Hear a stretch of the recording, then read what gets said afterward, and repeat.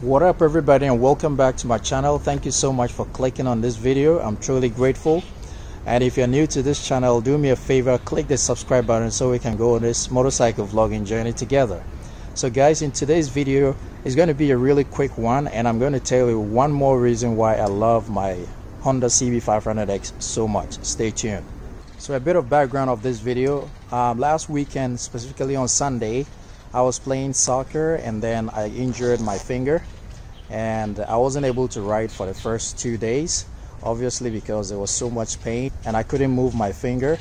But after two days the pain was a little bit better uh, because I had iced it and also put some hot ointment on it uh, so I can move it but it's still very very sore I won't lie. So as you can see this is this one that I'm moving is the finger. So if you look carefully this one moves no problem. This middle finger no problem. But this one is a little bit difficult to move. And as you can see on the base around here it's a little bit swollen. So when it happened I could move my finger Im immediately after the accident I could move my finger left to right, up, down, no problems. But once it started to swell, it became a bit more difficult. And as I said, the pain has subsided, but it's still not that easy to, to move the finger freely and to use it as I wish.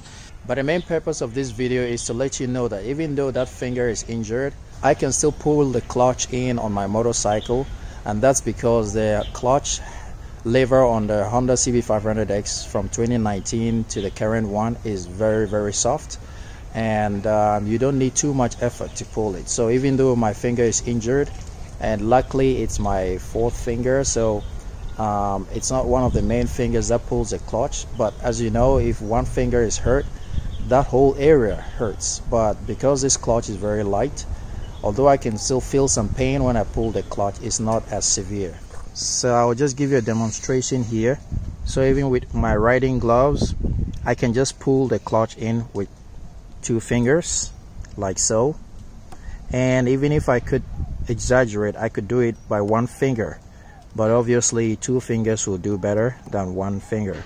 So I've tried to immobilize these two fingers and just use these two fingers right here when I'm riding. So this is one big advantage of this uh, slipper clutch I think they call it on the Honda CB500X or is it a wet clutch? It is very very soft. So uh, another reason why I love this bike so much. On some bikes it's almost impossible to pull in the clutch if even just one finger is hurt. But with this one um, two fingers or if you're in for it one finger will even be able to pull the clutch so kudos Honda.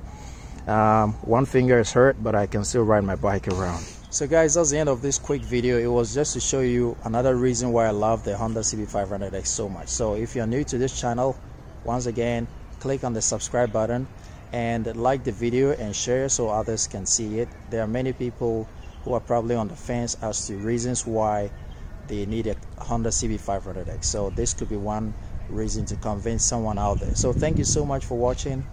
And until I see you in the next video, guys, ride legal, ride safe always. Peace.